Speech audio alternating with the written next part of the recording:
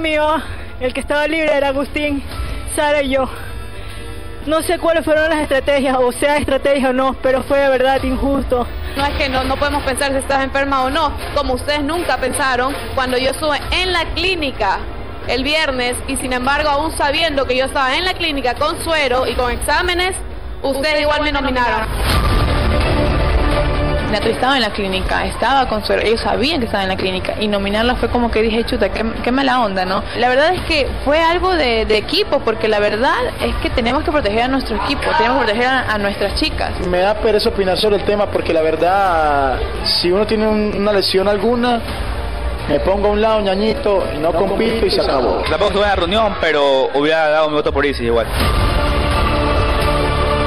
Eso no significa que seamos inhumanos, o sea, si ella no puede competir y está consciente, ella simplemente no tiene que hacerlo. A él la inhumana es ella porque ella es la que se está haciendo daño, no nosotros haciéndole daño a ella. Ya se atacan los Vengadores y salen diciendo como que nosotros somos los malos de la película cuando ellos empezaron esta situación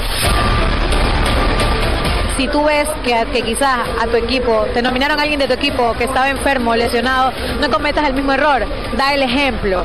Por ejemplo, para nominar a Natalie, no quiere decir que todo el equipo estaba de acuerdo en esa decisión. Yo estuve en desacuerdo, le pedí que no nominaran a Natalie porque estaba en la clínica. Mala decisión entonces de Estefano. No, no, no, mala decisión de ambos capitanes, los dos capitanes cada uno tiene su opinión y su forma de, dirigir a su equipo, yo no le voy a cuestionar eso, sino que yo quiero dejar en claro acá que nominar a Natalie no fue opinión de todos, opción de todos, nada más.